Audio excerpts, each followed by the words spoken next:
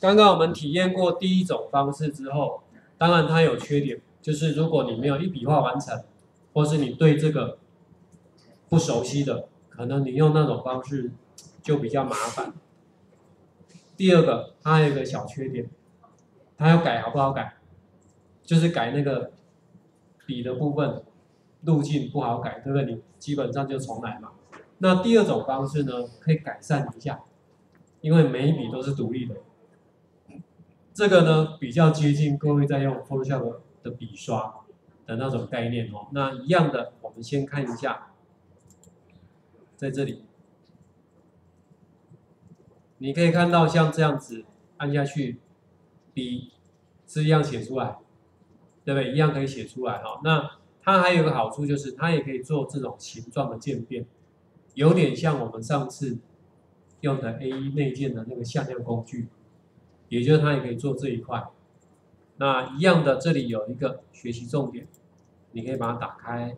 那我们的范例档案这里也有准备好的，好，你就可以把它在浏览器这边把它下载一下。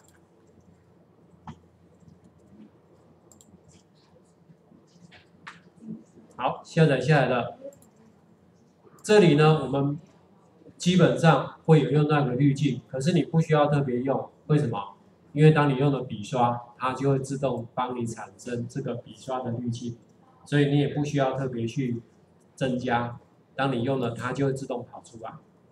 还有啊，它也可以像这样哈，就是间距这个属性，比较特殊啦。你如果需要那个慢慢的变成什么形状的，哎，这也很特殊哈，可以做成像类似这样的动画。那教材的部分，这个我们已经会了，对不对？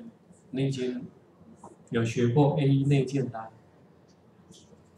这之前我们已经学会了，所以我这里就不讲了哈。这是把它转换成 A 一内建的向量图形的。